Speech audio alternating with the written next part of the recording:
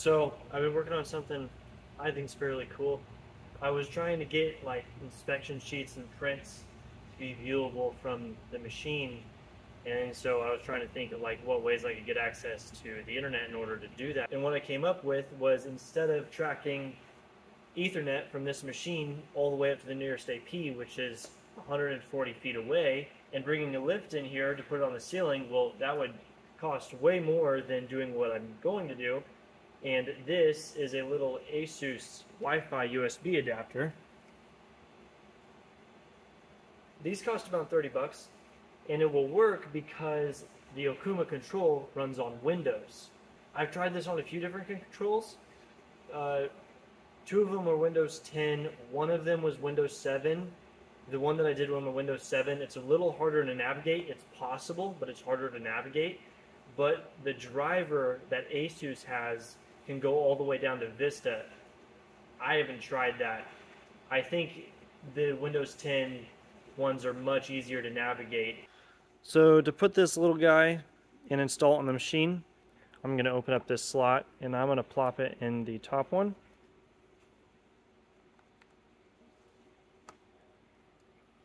And then I have a USB here that has the driver on it.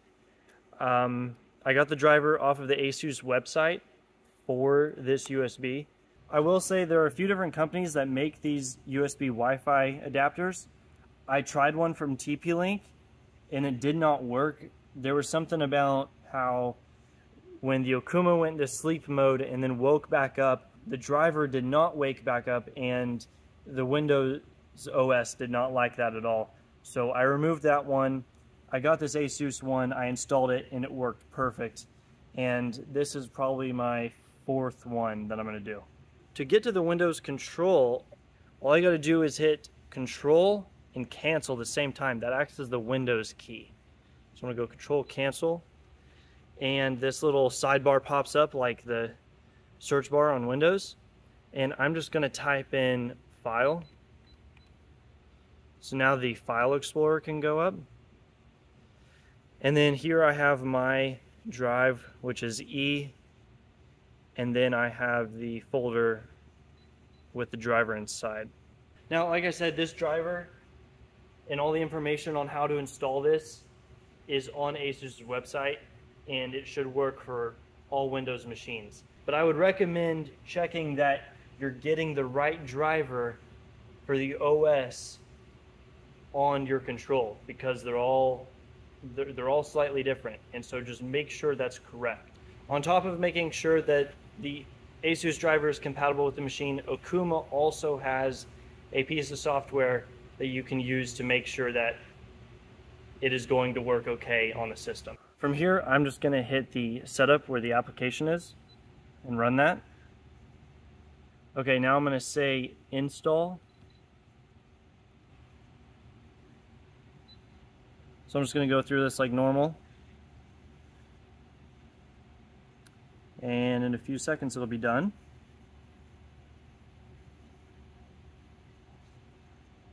Okay, so on this screen I hit no.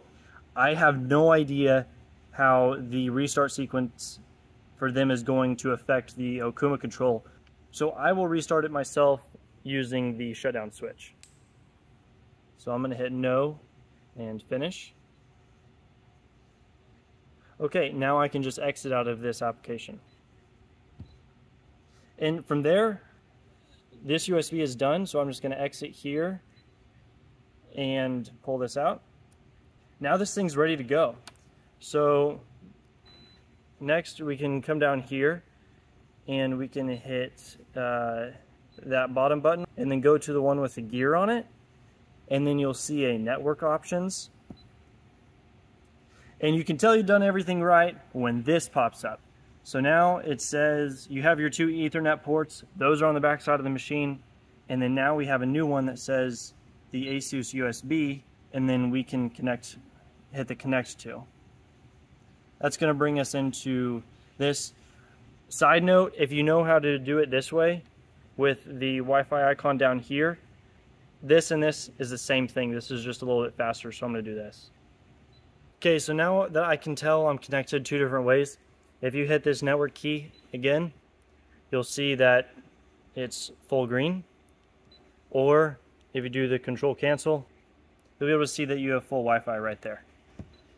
I guess I could also show you a little bit on how I'm going to use this. So I'm going to go to File again. And then I'm going to go to my network. And on my network, I have a server that I connect to.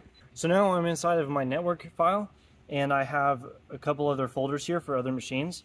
I'm going to go ahead and I'm going to create a new one by going to right click. Right click is you just press and hold and then that square or circle comes up and you can release it. Now I'm to go folder and this machine is L6 so I'm going to go L6 and now this machine has its own folder. So I'm at my computer now. I'm going to go to my folder browser and I put a print in my downloads page the other day. This is just an ejector pin for a Swiss machine. I'm going to copy that file and I'm going to go to the network. Here's there's the L6 folder and then I'm going to paste that file in there. And so now we have that ejector pin print in the CNC link file. So now back to the machine. Before I look in there, I'm going to do something that's going to make it a lot easier to get to this file. So this is why I said I like it on the Windows 10 version and not the Windows 7 because I haven't been able to figure out how to get this on the Windows 7. So if I right click on that file that is for this machine, then I can do a simple says pin to start and I can X out. So what that did is now when I hit control cancel, I have a link to that folder right here. So I can click it and it's gonna bring me into that file right away. Here it is, I can pull it open. It's gonna open up the Okuma PDF viewer and there's my print. So I just realized that I couldn't open Internet Explorer. I think it's because I didn't restart the control yet. So I go ahead, I gave it a restart, and now I'm just waiting for it to boot back up. So now we're booted back up, and I'm going to go download the Edge browser so that I can have that updated version of the PDF editor. So I can click on browser just right there. And then I'm just going to type in Edge. So here I am at that landing page and Microsoft has a big thing about it right up front. So I'm just going to click on that and do an accept and download. I just had a guy recently ask me if I was able to do this for like a Tsugami, which is Swiss machine. And I wish, but I don't know if any other company, I mean, I know Fanuc runs some type of Windows, way in the background, but they don't make it accessible like Okuma makes it.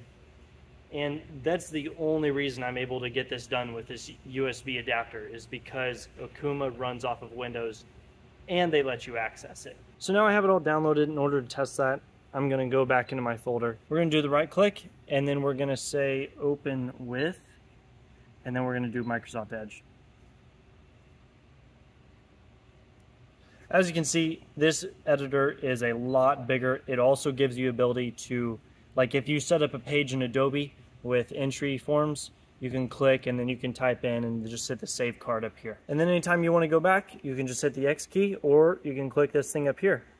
So I'm going to do X, X, back to home. So I hope this helps. Maybe if you wanted a connection on your controls, but you didn't want to run Ethernet, well, now you have this. Just go get you one of those USB drivers and you're good to go.